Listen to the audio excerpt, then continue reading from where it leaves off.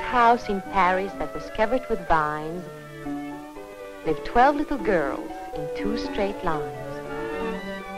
In two straight lines, they broke their bread and brushed their teeth and went to bed.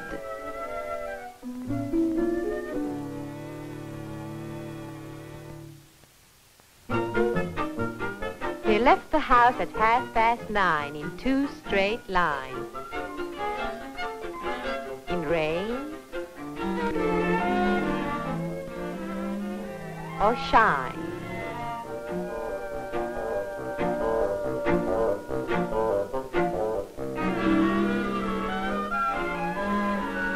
They smiled at the good.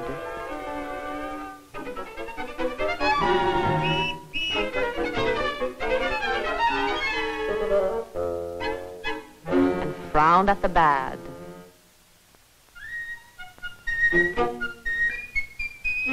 They marched all over Paris, twelve little girls in two straight lines. Au secours, au secours, sauvez-la, c'est affreux N'ayez pas peur, mademoiselle, nous sauverons votre petite fille. Attention, attention, en place The smallest one was Madeline.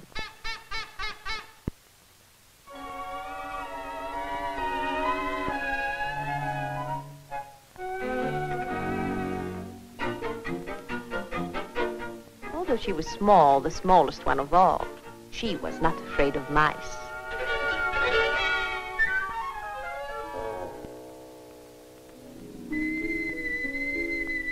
She loved winter snow and ice.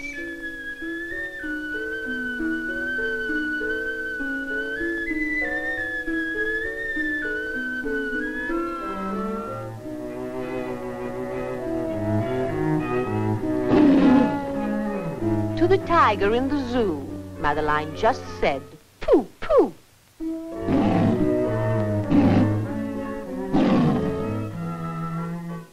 And nobody knew so well how to frighten Miss Clavel.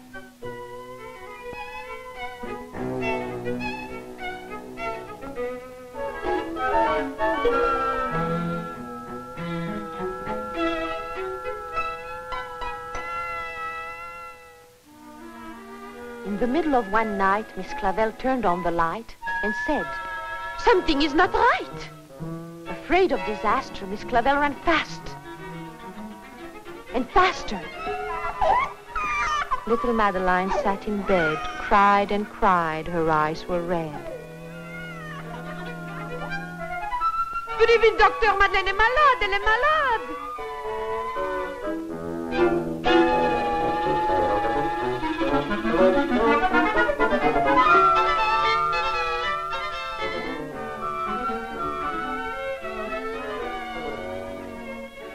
And soon after Dr. Cohn came, he rushed out to the phone.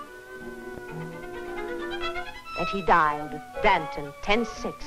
Nurse, he said, it's an appendix. Everybody had to cry. Not a single eye was dry. Madeline was in his arm, in a blanket, safe and warm. In a car with a red light, they drove out into the night.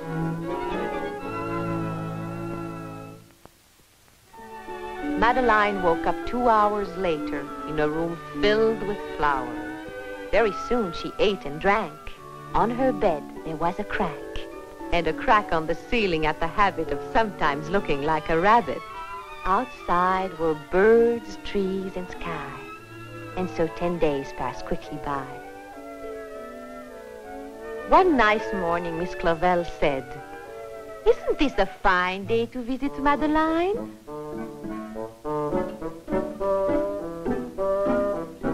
Visitors from two to four read a sign outside her door. In they walked and then said, Ah! when they saw the toys and candy and the dollhouse from Papa. But the biggest surprise by far, on her stomach was a scar. Goodbye, they said. We'll come again. And the little girls left in the rain.